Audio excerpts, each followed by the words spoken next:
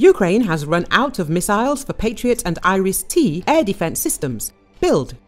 Bild journalist Julian Röpcke, who has been following the fighting in Ukraine, says that Ukraine has run out of missiles for the Patriot and Iris T air defense systems. Röpcke said he had warned about this a few weeks ago. Ukraine has run out of Patriot and Iris-T missiles. Also, most of the stocks of air defense means are depleted or destroyed, he wrote. Röpcke added that Western countries have hundreds of systems and thousands of missiles that Ukraine needs in their warehouses. Röpcke later tweeted, I would rather not say Ukraine has zero Patriot missiles, adding that a source had told him the current number two weeks ago. I won't reveal it, of course.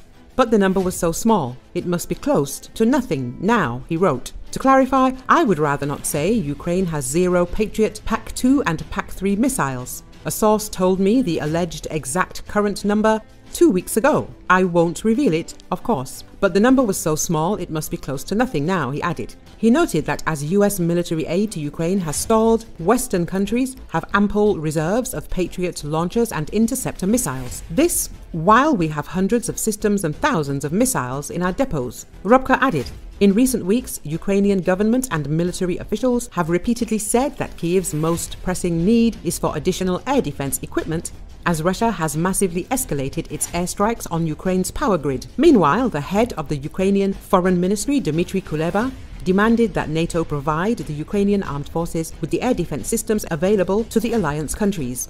According to Kuleba, it is not possible to achieve such supplies through requests, and therefore he intends to move on to strict demands. The Ukrainian diplomat said his team has counted about 100 Patriot systems scattered across the European Union and wonders why NATO refuses to share them with Ukraine. Ukraine reveals interesting fact about burned Russian Serpukhov ship in Baltic. The Russian Serpukhov missile ship, which was put out of action in the Baltic Sea, was considered for transfer to the Black Sea because of the loss of part of the Black Sea fleet. This was stated by the representative of the Ukrainian Defense Intelligence, Andriy Yusov, reports Radio Liberty. Given the loss of the Black Sea Fleet, such compensation scenarios are being considered by the enemy, but the transfer of vessels is quite difficult. It is clear that Turkey does not let warships through. Other ways logistically exist, but they are complicated and long, he said. According to him, the fact that the ship burned out means that the vessel remains afloat, but the modern technological equipment is out of order, damaged, and it takes a long time to repair the ship. There are no safe places for military facilities on Russian territory, the Ukrainian Defense Intelligence spokesman added. In any case, the expansion of the actual war theater for the Russian fleets is good news, said Yusov.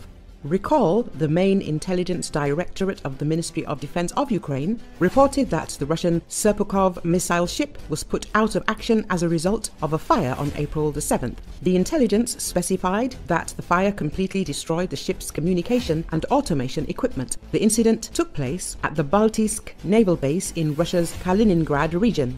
This ship is only more than 10 years old, but during this time it was part of first the Black Sea Fleet and then the Baltic Fleet and also participated in various military exercises. According to preliminary data, the fire occurred on the ship while it was at the Baltiysk naval base in Russia's Kaliningrad region. The causes of the fire on the Serpukhov have not yet been disclosed. However, sources noted that the fire on the ship was a successful operation of the main intelligence directorate of the Ukrainian Defense Ministry. Later, the Defense Ministry's intelligence confirmed the successful operation, noting that as a result of the fire inside the missile ship, its communication and automation equipment was completely destroyed. Russian soldier, Moscow hiding war deaths to avoid paying families. Moscow is purportedly neglecting to alert family members after a soldier dies in the war with Ukraine to avoid compensating the servicemen's loved ones, according to a phone call intercepted by Ukraine's military intelligence. In a telephone conversation posted to Telegram by Ukraine's military intelligence, a Russian soldier can be heard saying that the Kremlin has been listing deceased fighters as missing rather than dead to avoid paying compensation. I say it's beneficial for you to tell me he is not missing, so you don't have to pay him. You know, we haven't heard from him for a month and a half, the soldier says during the phone call, according to a translation of the call provided by the Kiev Post.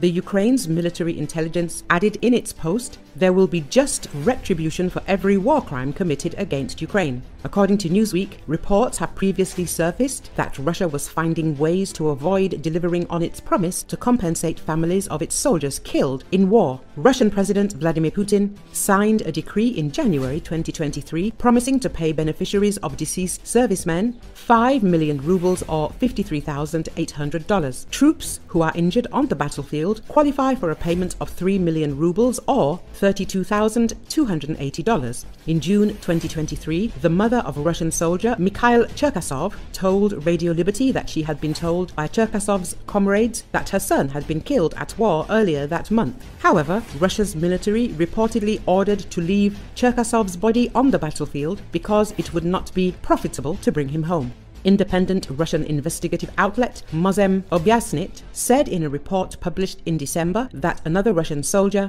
who had been severely injured along the front lines had only received two buckets of carrots and a bag of onions from the government instead of money promised. Фархат, я звонил опять Министерство обороны, звонил опять ту же часть, которую ты мне давал. Они мне одно и то же говорят. Он чистится в живых, без вести пропавших не числится, он не раненый. Я говорю, хорошо, а почему, говорю, ему зарплата тогда не приходит? Я говорю, всем пришла, ему не пришла. Я говорю, что вы из меня петрушку делаете, говорю. Я говорю, вам выгодно говорить мне, что он, ну, числится живой и без вести не чтобы за него не платить. Понимаешь, уже полтора месяца от него известий никаких нету, Фархат. Я вот это не понимаю, как так. Просто, понимаешь, мне правду никто не скажет, понимаешь, Фархат.